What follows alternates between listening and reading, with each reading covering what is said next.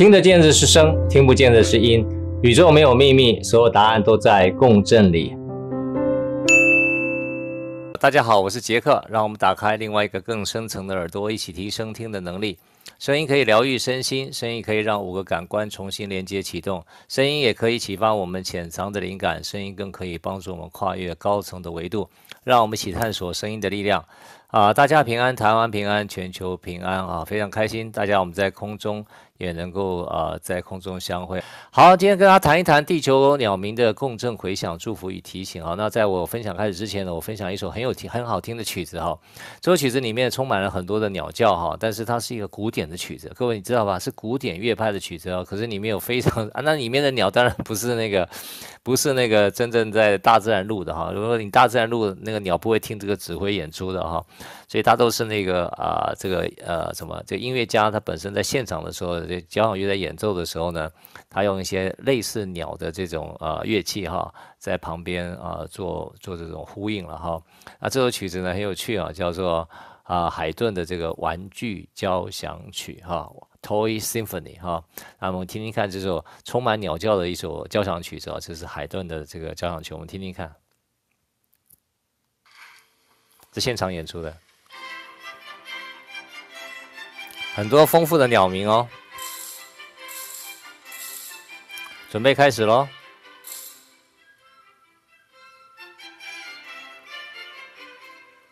好，我们先告个段落哈，因为这个曲子也将近快十分钟哈，我们就先听前面这一段哈。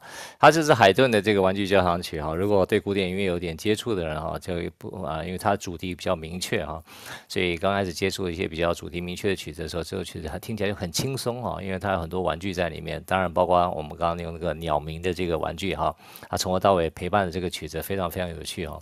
那如果你们想听古典音乐的话，海顿也是一个很好入门的一个这个作曲。家哈，这个本本身来讲，我个人是非常喜欢海顿的三重奏哈啊，我有海顿的美意三重奏，我非常非常喜欢。我在黑胶唱片或 CD 唱片，我都有第一版的哈美意三重奏，这个海顿哦非常喜欢啊。这个现在的啊三重奏都没有当年美意的三重奏，我觉得那么样好听哦。所以当年的黑胶的啊版本跟 CD 的版本，我都收到第一版啊。那那个黑胶是飞利浦的版本哈，那也不贵了哈，但是飞利浦在这个黑胶里面不算太贵，那里面还分荷兰版的还是法国版的啊，或者其他国家版哈。那当然，你如果你有在玩黑胶，知道这个飞利浦的荷兰版一般是比较正统一点了哈。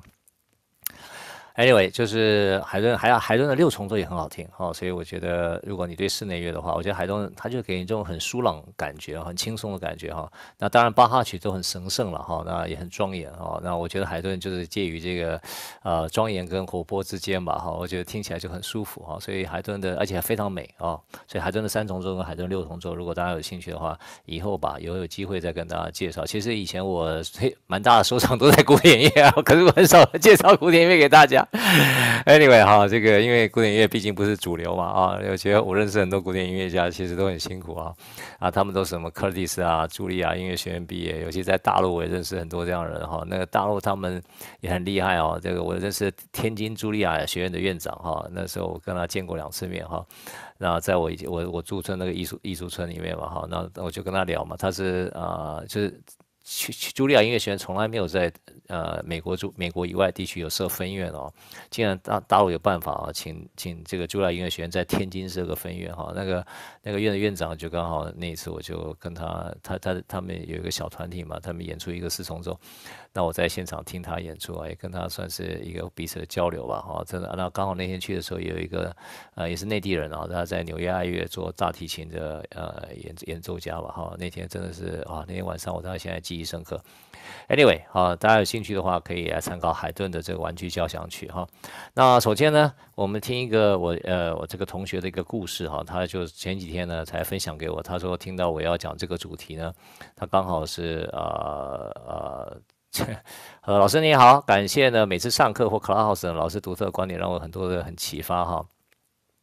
很期待周三呢，老师这个地球鸟鸣的共振回响，想先跟老师分享一次经历哈，因为所以他刚刚讲这个，我觉得跟分享给大家哈。他说两两个月前呢，阴天伴了一点小雨哈，那我跟先生去爬山呢，走到封路的尽头呢，当我们开始回头的时候呢，有上百只鸟同时在叫哈。我听到了这个鸟声嘈杂有限，但惊恐而且此起彼落哈。于是我说，啊，他说我们只是路过，祝福你们啊。他只讲过这几句话而已哈。话刚落，瞬间就是瞬间，居然刚才所有的鸟声嘈杂哈，而且这个惊恐此起彼落的声音哦，他刚讲完，我们只是路过，祝福你们。话一讲完。瞬间就是瞬间，居然完全停止。他刮胡是没有任何鸟叫的静止啊。老实说，对于麻瓜的我，当时觉得很震撼，至今我还是不是很明白，是凑巧吗？但是怎么会那么多只鸟同时发生呢？啊，然后且在说完我说完以后的一秒之内，全部的鸟都完全静止。是听得懂我讲的话吗？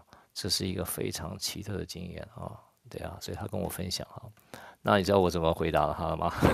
我回答说，因为你的声音的共振哦，练这个啊呜嗯哈，已经练了六个月了啊，所以你的声音的共振呢，这些鸟儿们哈，你听一你一讲话，我们只是路过，祝福你们哦，你声音的共振的品质，所有的鸟马上就，你知道鸟类本身来讲。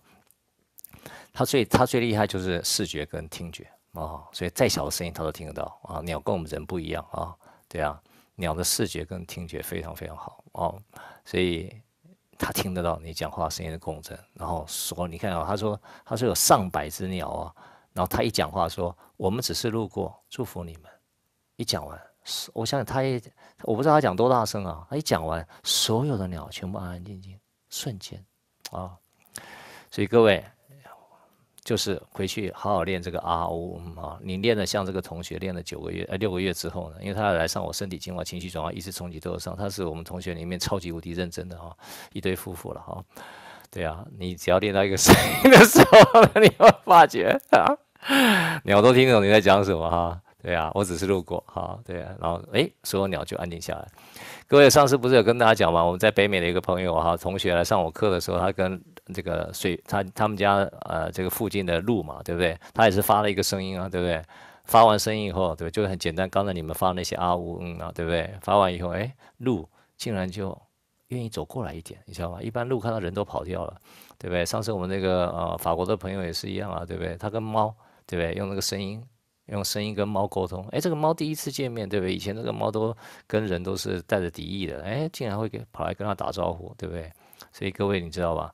动物对于声音的敏感度比我们人类敏感多了啊，所以各位不要小看你发那些啊、呜、嗯的声音，因为一般来讲要花到三到六个月的时间啊，你一持续的共振力，记得要放松啊，不要用用力啊，不要这样啊啊一直这样啊，那没有鸟用的哈，各位你要放松，不是这样嗯嗯，你要把它冲开啊，冲不开的哦，各位要放松啊。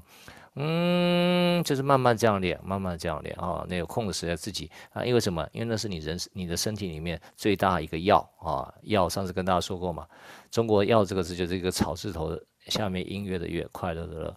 一个你天然本有和谐喜悦的震动，就是带着药性。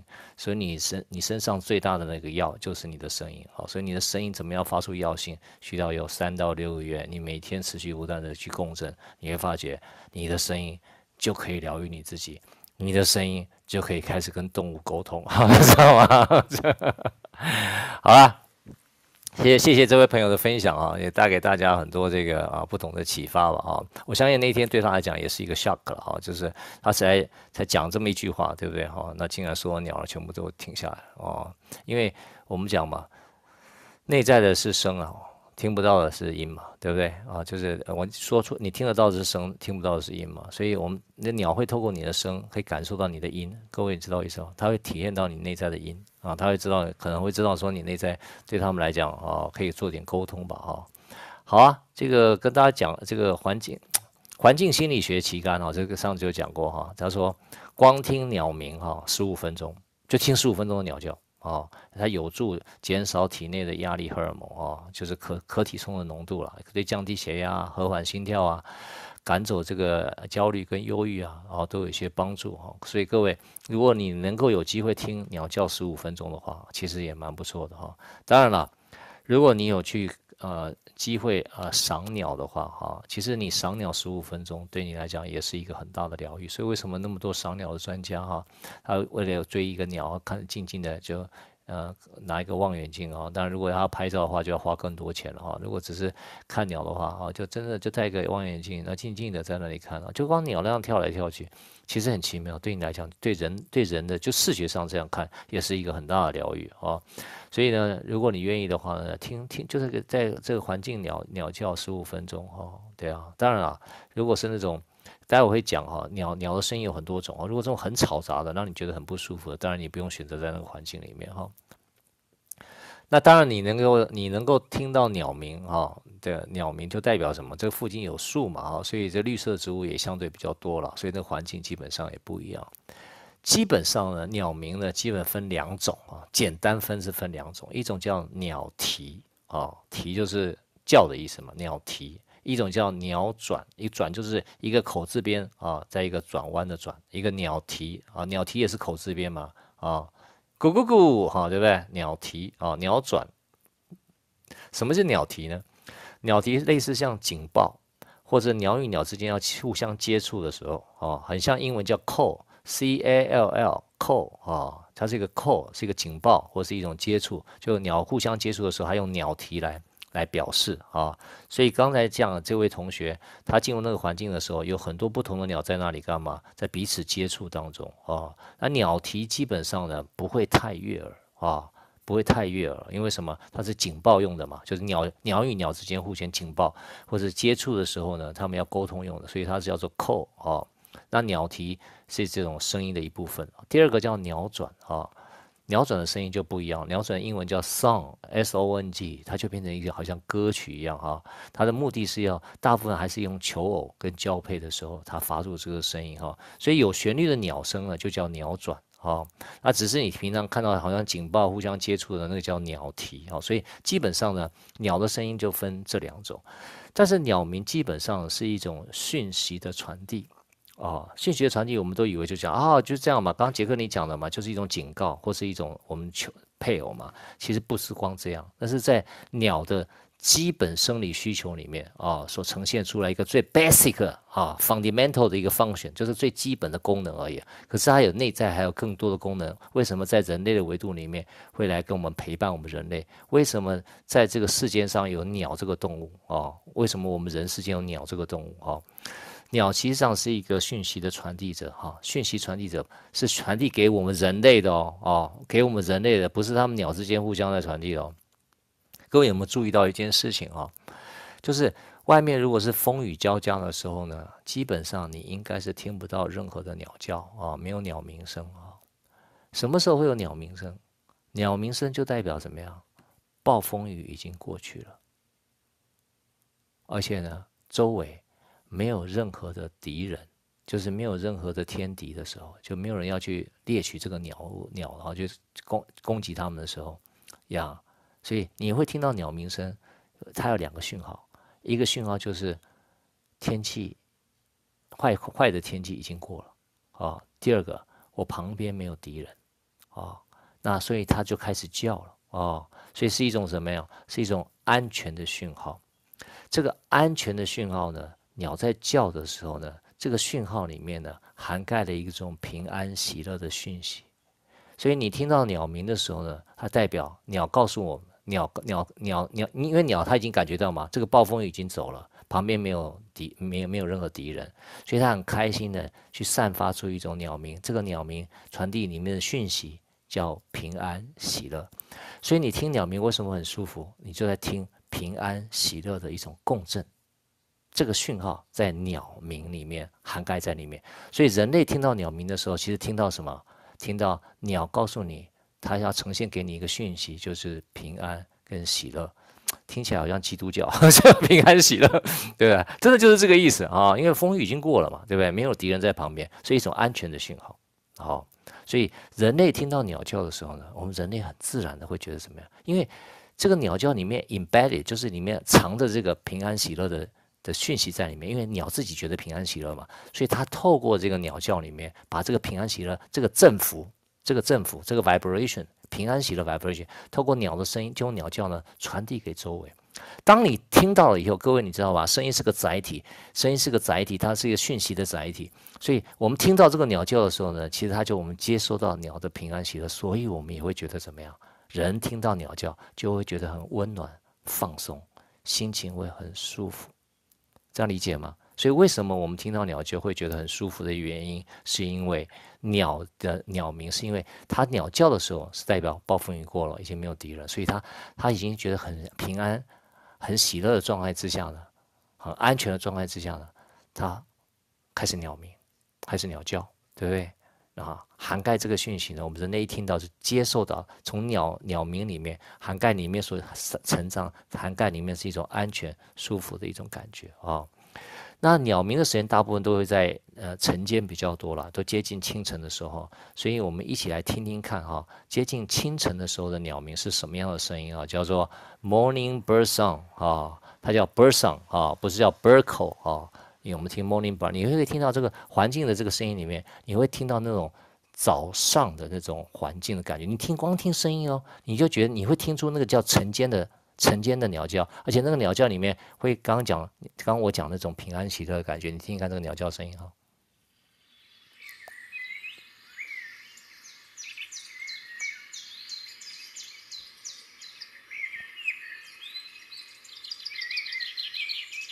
你有没有觉得你也听得出来，这是早上的感觉？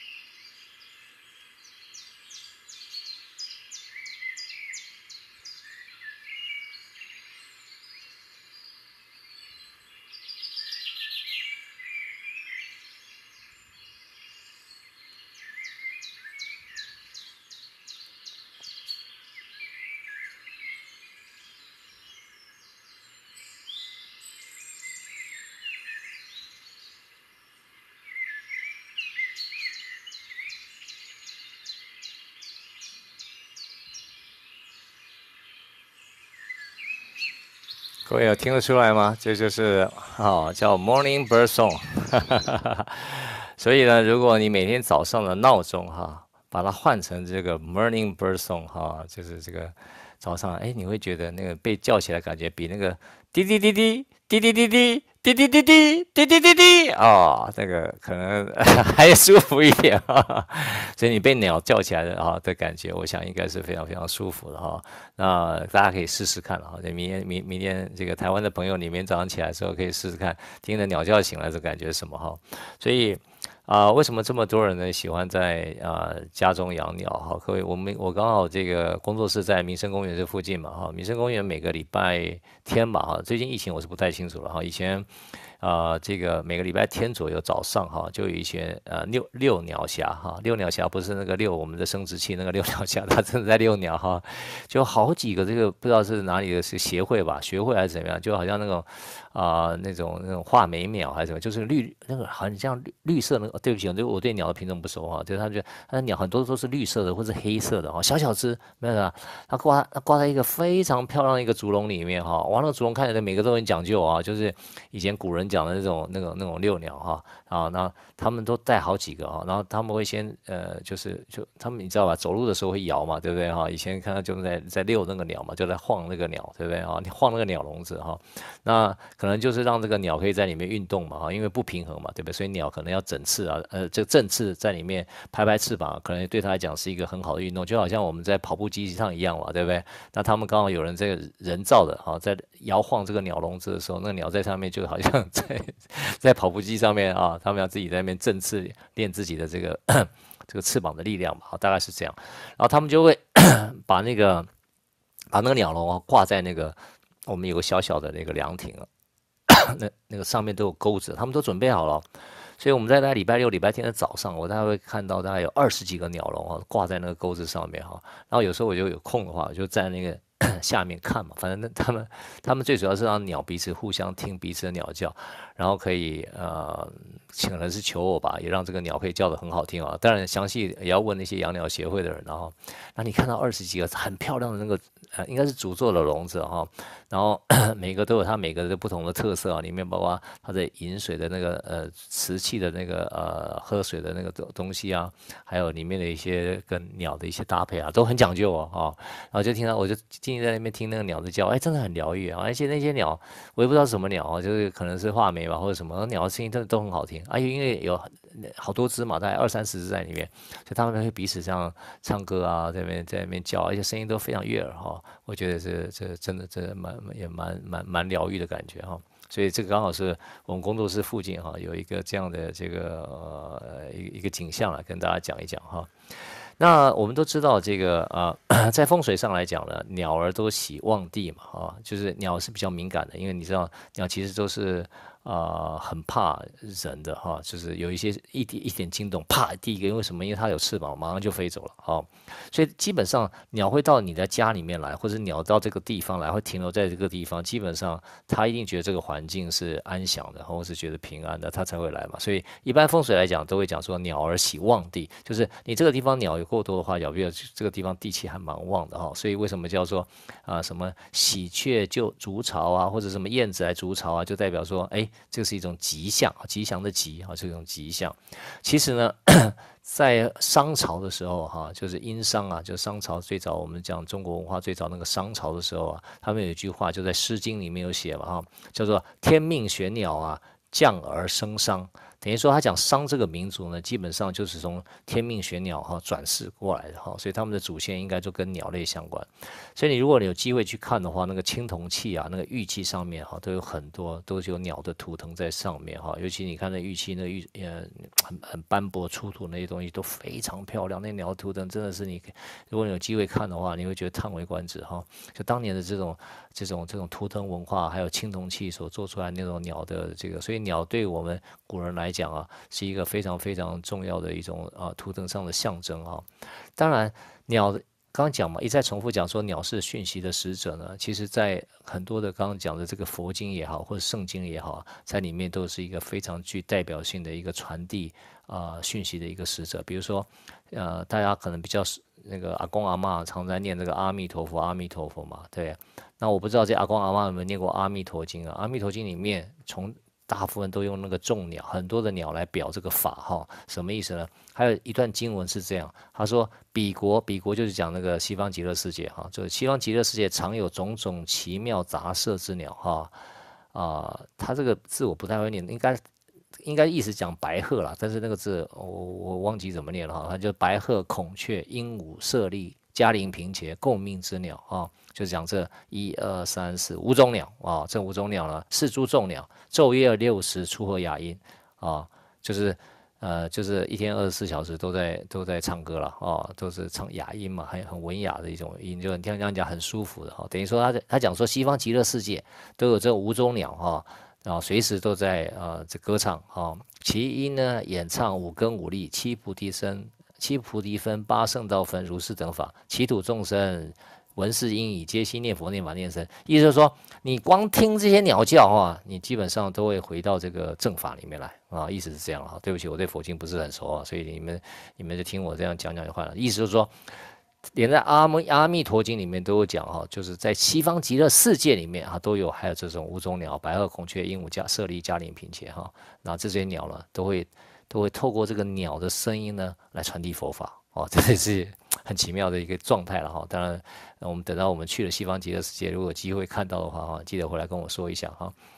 那圣经里面呢，其实也有四种飞鸟哈。那呃，圣经里面好像这样写了哈。你考据也不要问我了哈，大概是这样。他说神呢在第五天呢就创造了飞鸟哈。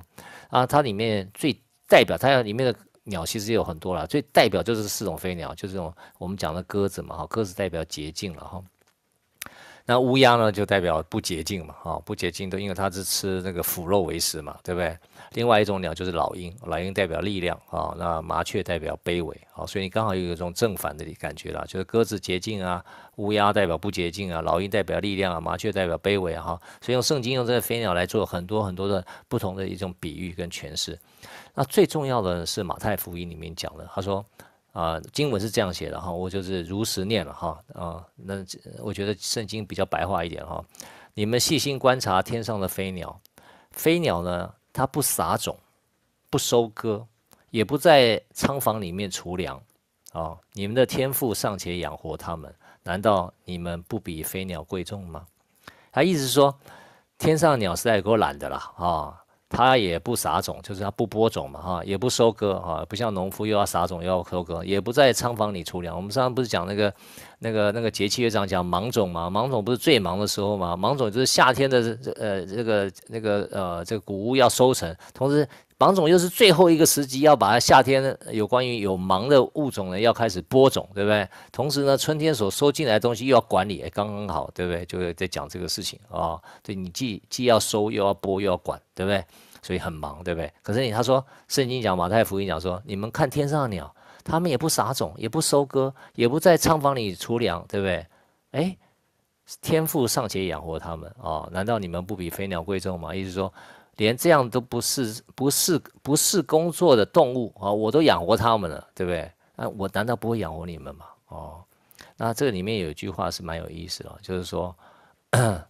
鸟基本上呢就不是生产，你知道意思吧？这圣经告诉你，不是生产的动物呢，我都养它们，对不对啊？那其实呢，其实这个圣经里面讲这个意思呢，我有可以很，我有个人有一个比较深的明白了，就提供给大家做参考。这就是我今天真的要跟大家讲的内容哦。鸟类在人类维度里面真实讯息到底是什么意思哈？鸟到底这个共鸣在干嘛？鸟儿存在的意义是什么啊？对人类来讲啊，其实就有两件事情，就是。唱歌跟飞翔，在圣经里面讲，飞飞鸟不播种、不收割，也不在仓床仓仓房里储粮嘛，就基本上不是生产啊。那上天天父都照顾鸟，对不对？那鸟到底在人类维度到底干嘛呢？哦，刚各位讲了两件事情，它只负责唱歌跟飞翔。各位，它没有要生产哦，它没有说我现在的每每个月要看一下我的 KPI 哦。我这个月业绩要比上个月绩好，我这个月要比上个月绩，呃，上上个月要更更更成为一个更好的人哦。没有啊，鸟在那里干嘛？就飞翔跟唱歌呀。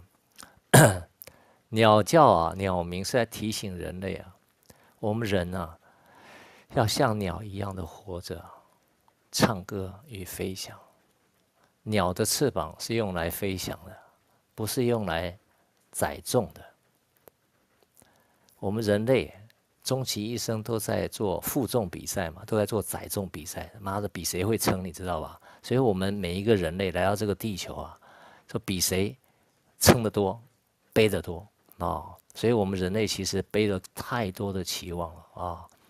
就是这个社会期望你要成为一个好女儿啊，成为一个好媳妇啊，成为一个好女儿已经不简单了。妈的，去嫁给人家还要成为一个好媳妇，老人家又希望你成为一个好太太。完了以后，你生了小孩要成为一个好妈妈；去上班的时候要成为一个好员工；如果你创业了以后成为一个好老板；你信了一个教以后要成为一个好信徒；最后呢，你还要成为一个好国民。所以，我们这辈子呢，都在背负着很多人对我们的一个期望啊。所以，怎么样在别人心目中要成为一个好人，你知道为什么？所以我们背负着期望，然后呢，可能自己又对自己失望。那有时候呢，真的觉得觉得对自己做的又绝望。啊，然后再次期望，又在失望，又在绝望啊！其实呢，鸟鸣是在提醒我们人类啊，要像鸟一般的活着啊，唱歌与飞翔。人不是来这里负重比赛的啊，所以日后我们听到鸟鸣，是鸟的祝福跟提醒。他说，他在告诉你人类说：醒醒吧，停下负重比赛吧，该飞翔了。放下你肩上所有的重担，你才能够飞得更高。别再纠结人类世界的名利跟情了，啊！对啊，那怎么样放下也有待你的智慧了。不是说叫你放下，就是好像跟我切断我父母的关系，我切我就是切断我成为一个好媳妇应该有的标准或者这样，不是的，不是这个意思啊。对啊，有机会再跟大家慢慢聊哦，知道吧，意思啊？就是因为不要不是说啊，这个这个这个这个，我我从此以后不做一个好女儿、好媳妇、好妈妈、好太太、好员工、好老板、好信徒、好国民，不是这个意思哦，对不对？就是你怎么样不要让自己。在背负着这么多的期望在自己的身上啊，所以鸟在人类世界里面最大的意义就是唱歌与飞翔，来提醒我们人类，翅膀是用来飞翔的，不是用来负重的。所以，我们人类醒醒吧，停下负重比赛啊，我们才有办法在这个世，我们来成为人类的时候，才有办法像鸟一样提高维度，跳脱人类的时空。在最后的状态里面，哦，所以今天就跟大家分享这个地球鸟鸣的共振回响，所有的鸟都来提醒我们，哦，它给我们的祝福，给我们的体会，好不好？那最后呢，我分享一首曲子给大家哈，这首曲子呢也很有意思哈，就是啊。啊，这首曲子是那个莫扎特写的曲子哈，我也很喜欢，它很很短的一个曲子哈。它虽然说这个曲子看起来好像是在抓鸟的哈，但是这个曲子听起来呃很快乐哈。它叫做《快乐的捕鸟人》啊，然后听听看这个曲子，我觉得很喜欢，也送给大家。作为今天呢，要我们要怎么样在我们这辈子里面呢，放下这些。啊啊，负重量哈，放下我们背在我们身上重量，能够真正知道我们生命的翅膀是用来飞翔的，不是用来载重的，好吧？我听这个莫这个莫扎特的《快乐的捕鸟人》。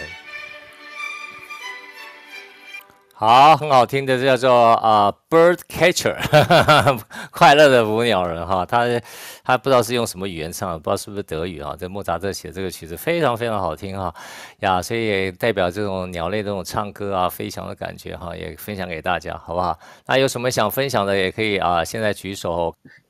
我也来分享一下哈。好，这个鸟叫，我上次我记得我有发一个视频给你看，我都是在游泳池嘛。嗯。然后因为现在加州天气太热了，所以我就改成早上。结果很幸福的是，早上我后来我不都在泳池发生吗？我你说在早上，你早上的时候，你说你现在发生改在早上就是这样。OK OK 好。在之前发给你那个视频是在太阳下山，因为太热的，所以没有到鸟的叫声。然后我发现我每次到游泳池我都会发生。我今天就是。早上去游泳的时候，我发现那个蜂鸟，嗯，蜂鸟一般你不是也很少看见它吗？是，对，它就在我的游泳池的旁边的花蕊上，就在那边飞，然后呢，就会有很多，每次我在发音的时候，很多小鸟就会像你那个叫做鸟颂，它在唱歌的方式，它就在那边跟我一起合音，然后我就觉得，哎，真的每次听到之后就觉得很心旷神怡，然后渐渐的呢。有那个燕子，燕子它会筑巢在我们的那个游泳池的那个 take race 呃休息的冲凉的地方，它就会整群就这样子飞出来，因为可能是白天它要出去觅食吧。然后我在游泳的时候，我也会看得到那些燕子或者是小鸟到游泳池着水，就这样蜻蜓点水这样子点下去点下去，那我觉得。真的每天都活在这种很心旷神怡的地方，然后你跟我说过 relax 嘛？后来我不是说我因为之前经历过很多的波折，然后到现在疫情期间，后来我关在家里，但是好像来到了一个天堂的地方。今天听你这么一说，我突然觉得我不是很整个人都很放松，都不晓得我人在干什么，我也不想让自己那么忙碌，就卸下身上的肩膀，然后顺便养我自己的。身体上面的一些病，然后刚好听到你你讲的话，他说：“你说鸟儿的翅膀是带着我们飞翔，不是背重任。然后鸟呢，它就是歌唱。那我想一想之后，我离开台湾之后，我都用我的 IG 跟我的 FB 跟我的家人报平安。那我每天都在在这个关在家里那段时间，大家台湾不是四处去玩乐吗？”但是我关在美国就没事情可以做，那段时间我抛了很多的视频，练习煮菜啦，然后不会做菜，练习做一些人生都没有的第一次经验的东西。我也曾经跟乌鸦对话，也抛上视频，然后也看到那个洒水器在跳舞的时候，我也在喃喃自语跟着跳舞。后来我发现，我现在的责任呢，台湾的家人看到我现在活得这么平安快乐，在这个美国的地方，没有因为疫情方面来打乱他们的生活。那现在呢，我就把我那个每年他都会有跳出来的那种回忆。我就转发回去台湾给我的家人，跟他们讲，跟朋友讲，台湾这次疫情才小小的哦，不用担心。美国这么严重，死了很多人。我发现就可以做成一种大家互相娱乐的，然后我自娱又可以娱人，然后大家压力很大。我突然发现，因为我也不是 YouTuber，我也不是要当想红的人，但是我用这种讯息是去跟大家警惕，跟大家关心。然后呢，就是给大家看的都是自己的家人。然后最近我上 Clubhouse，我很喜欢听听一个呃德国人唱歌，然后我也会把他的歌声，然后加上我自己乱编的舞蹈，就 QQ 的分享给大家。因为乌俄战争嘛，因为他们又住在德国，然后心情都很荡所以我就借由我自己的这种不专业的演员，然后做出很搞笑的画面。然后呈送给大家，如果大家不嫌弃的话，那个就是我在这里的至于愚人的点点滴滴。然后你看了之后，我会很多，虽然年纪已经半百，但是呢，还是有怀揣着年轻少女的梦。因为年轻少女的时候，太早步入了家庭婚姻，所以那一堂那一段的婚姻岁月，让我都很蹉跎，很努力的背在班上班，所以后半辈子呢。就刚好这疫情的时候，让我展开了人生的新生活，所以我想跟大家共勉一下。真的有时候，疫情期间让你发生在所有周遭或者是人生不如意的事情，真的十之八九。但是但是想真的有一天柳暗花明又一村哦，我希望大家能够共同。那还有老师，我最近呢做了一个很杀生的事情，心里一直很很很很很不开心啊。因为我们在国外就是会有鸟叫虫鸣，但是我家的周围呢，就是莫名其妙多了很多地鼠，因为是福地，我我我是自己这么认为，但是那个地方那个地鼠呢，一直会打洞，在我的后亚跟我的住的范围越来越近了，然后我很怕它打洞打到我们的地下的电线啊、水管咬破或怎么样，我们这里就会去。打电话去跟那个公共管理的 HOA 申诉，然后我本来以为他会用一种比较 peace 的方式，因为我想说外国人嘛，会不会用个 peace 的方式把它捕抓，然后放到大自然？可是投诉了一年多，他那一天有一天真的做了，为什么我知道做了？因为我在后亚看到他的尸体哦，我就想哦，我好像作孽啊，我好伤心。然后呢，他挖了很多洞呢，他有的就，我不晓得他用什么毒死他，他就掉在外面，就就全部跑出来的有看得见的都是大，他就躲在花丛草树，但是我不敢去清理，就我先生去清理，我就跟他讲说，就埋埋在他们自己的洞里，把它铺平吧。然后就哦，我讲到这里，我的心里就觉得。然后我出去的时候，我我我不敢看着他们。然后，但是我每次走过的时候，我就默念，真的也不是有意要杀害你们，但是你们就我也很怕去喂养你们之后，你们会变成另外一种鼠疫，然后也很怕会带来更另外的灾难，所以上面就用这种迫害的方式毒死了你们。我不晓得有多少生命，但是我走过，因为我没有什么，我就什么教都念啊。走过去，基督教阿弥陀佛都跟他讲，不好意思，此生把你们给破坏了。所以这个在我心理上真的有一点阴影。所以刚好又听到老师这个鸟叫，但是我觉得我是承受着很多祝福，但是也杀了这些生物，我就觉得啊，心里很 guilty 啊。所以希望透过老师或放些这些音乐，让我可以疗愈。谢谢。OK，谢谢阿季的分享哈，这个很好啊。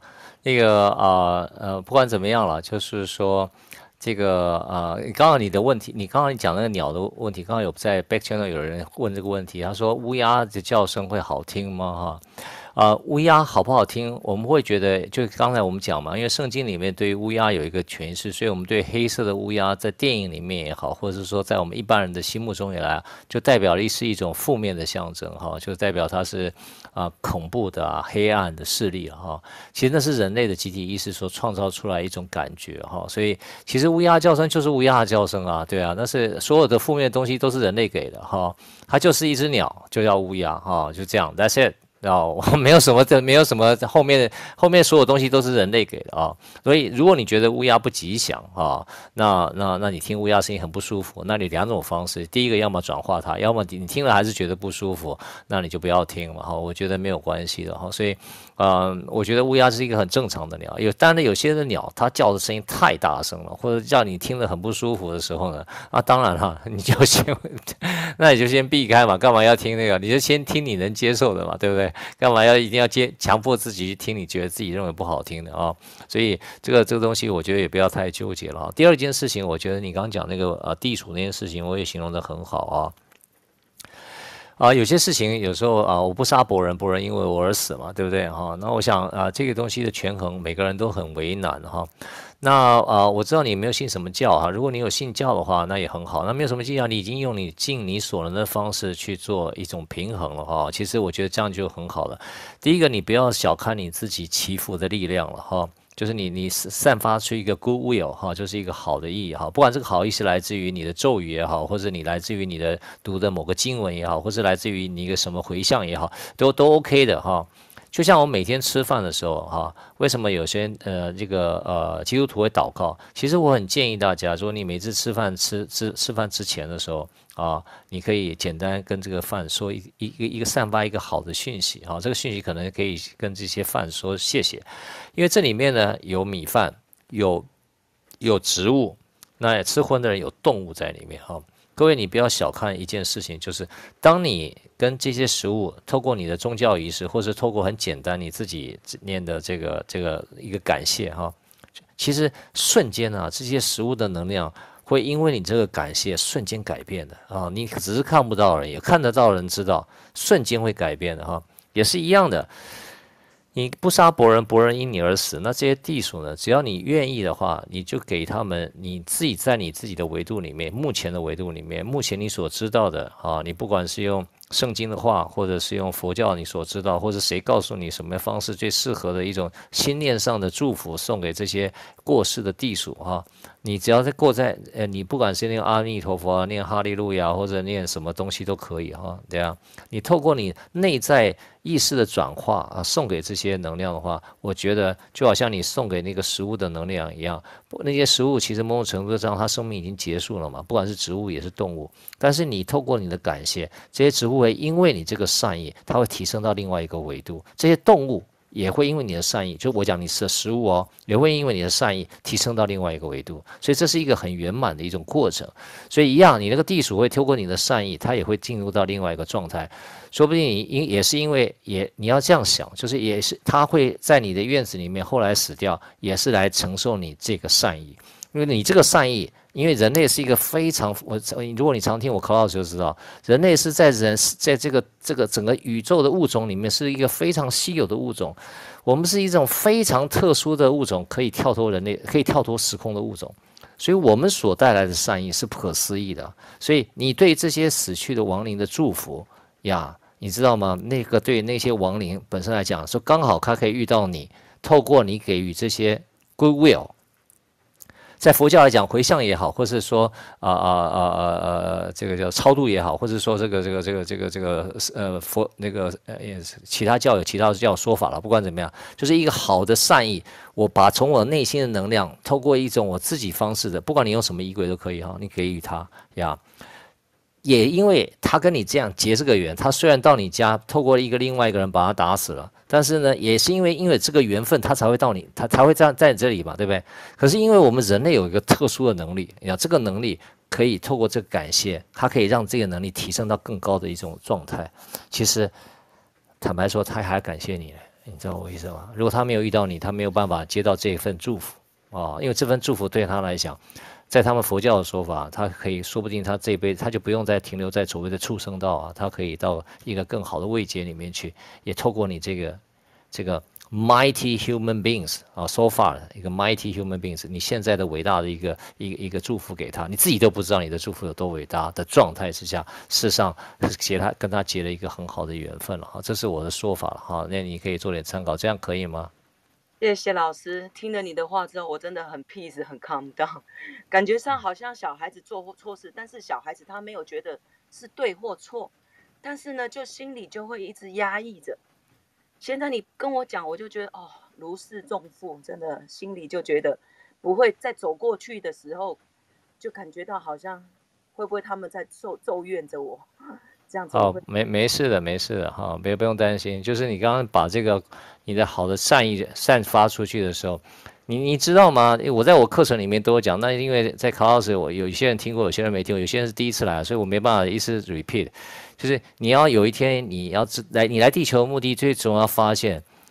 你你你的能力是那个 mighty human being，是一个伟大到不得了的伟大的，所以你的祝福是代表一种不可思议的能量，对啊，你只是不知道而已哈，你只是我们大部分人都只把活成我们自己是一个 human beings 而已哦，那你这些跟你有缘的这些，不管是纵使是你打死的蚊子，你打死的苍蝇，或是你打死的蟑螂，或是你刚刚讲你家的地鼠啊，不管什么原因呀。